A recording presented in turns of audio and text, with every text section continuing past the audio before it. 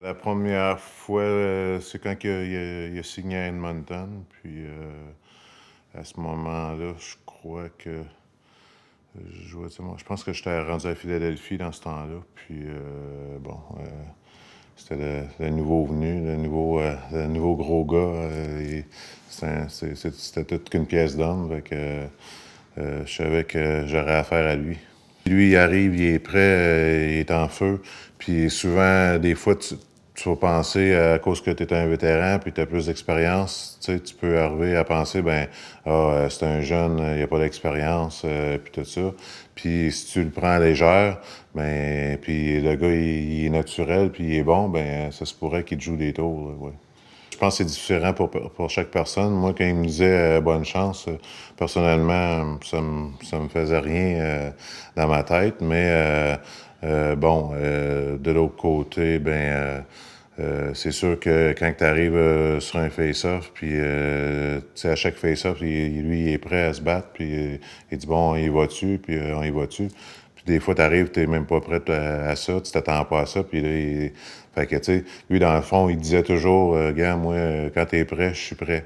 Fait que, c'est ce côté-là que, avec Georges, tu te dis, bon, ben, écoute, lui, euh, il est tout le temps prêt. Un gars qui est toujours prêt, c'est parce que euh, a pas peur, puis, euh, tu sais, il, est prêt à la guerre.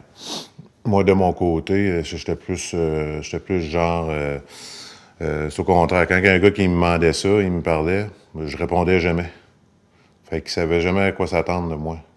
Tu sais, fait que si j'y répondais, je me disais, si j'y réponds, il va être prêt, il va se préparer tout de suite mentalement, il va, il va se craquer. Tandis que si je dis rien, là, il sait pas quoi s'attendre. Puis là, souvent, quand je faisais ça, les joueurs, ils, ils, étaient là, ils me demandaient deux, trois. On va-tu y aller, on va-tu y aller, on va-tu y aller, tu sais. Ils, ils savaient pas à quoi s'attendre. Moi, c'était plus de genre. Moi, j'étais plus silencieux. Bien, c'est sûr qu'au au début, c'était plus difficile parce que, bon, euh, beaucoup de nervosité. hein, euh, on joue devant 20 000 personnes, au-dessus de 20 000 personnes à, chaque soir, euh, à toutes les deux soirs. Puis euh, souvent, on est, on, est en, on est emporté à engager des combats. Puis, euh, fait que euh, chaque fois qu'on fait ça, le résultat va dépendre, la, réaction des gens va dépendre du résultat de, de chaque combat. Puis c'est ça qui fait que, bon, tu veux pas perdre. hein, euh, tu veux jamais euh, perdre. Fait que quand tu perds, ben là, tout le monde dit, ah, lui, il l'a battu. Puis là, ben.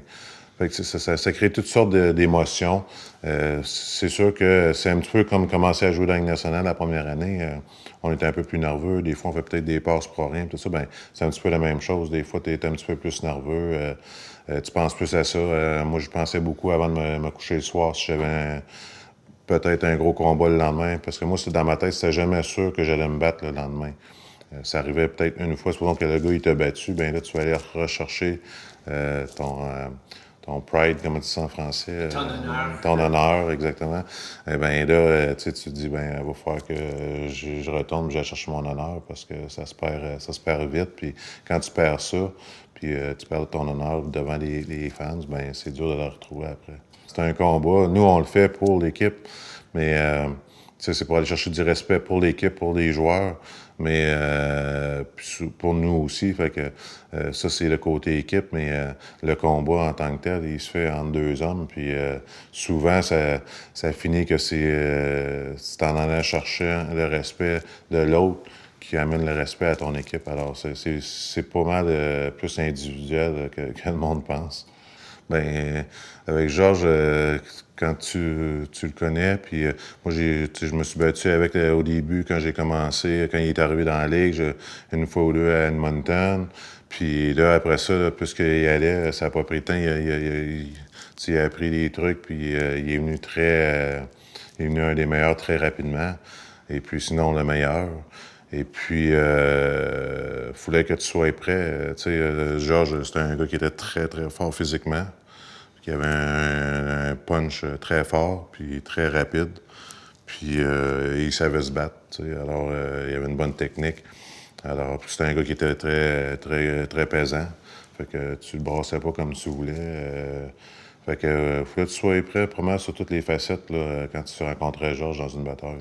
Ben, moi, j'avais, j'avais cet avantage-là aussi. Euh, souvent, on disait que les, les gauchers avaient des avantages. Puis, euh, Euh, moi, j'avais cet avantage-là, puis j'étais aussi capable de frapper des deux mains. Mais lorsqu'on va, on s'en va dans une bataille, ben c'est toutes des affaires qu'on apprend à savoir. On, va regarder des fois, comme tu dis, une vidéo juste pour savoir. On va aller sur YouTube. qui est-tu gaucher ou droitier, ou tu lances plus souvent de la gauche ou plus souvent de la droite. Fait que tu vois les tendances tu es capable d'avoir des tendances après euh, avoir regardé plusieurs batailles. Georges, qu'est-ce que, j'ai toujours aimé de ce, gars-là, puis euh, il disait qu'un jour, il aurait aimé ça suivre mes, traces, mais des fois, c'est la situation dans laquelle tu es, mise. Euh, moi, j'ai joué dans la ligne américaine, deux, trois ans, puis j'ai eu la chance d'avoir de la glace, puis scorer des buts.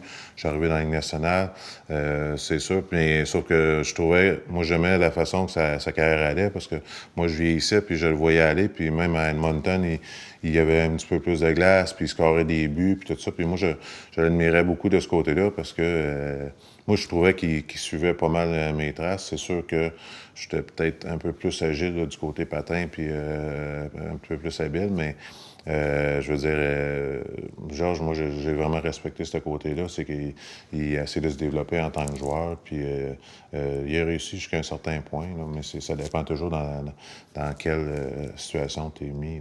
Moi, j'avais jamais eu un hat-trick, j'ai toujours voulu en avoir. Le plus de buts que j'ai scoré dans le national, c'est deux puis euh, deux, trois reprises, mais j'ai jamais réussi à avoir de hat-trick. C'est comme des plus dans notre carrière, c'est des, des, beaux moments à vivre. Là, euh, euh, même les, les, bons joueurs, quand ils scorent trois buts, sont, sont, contents. Là, fait que, pour nous, c'est exceptionnel. Ben, c'est juste pour te dire, tu sais, c'est à cause, souvent, un, gars comme ça, il est gros, euh, il a l'air moins habile un peu, puis tout ça, mais on regarde les bons joueurs beaucoup, puis je suis qu'ils faisaient la même chose, puis ils apprennent des bons joueurs, puis on, on les fait pas peut-être aussi vite, on est peut-être pas aussi élégant qu'on le fait, mais euh, dans notre tête, on, est, on, on, se voit le faire, puis on est capable de le faire. On, on veut surtout euh, essayer d'apprendre à le faire. Puis euh, je suis certain que Georges, de son côté, il, était le même aussi. Puis, comme tu dis, on veut tout. Euh, le, but du hockey, c'est de scorer des buts, faire des belles passes, euh, faire des mises en échec. C'est pas juste le côté batteur. Le côté batteur, ça vient avec tout ça, tu sais.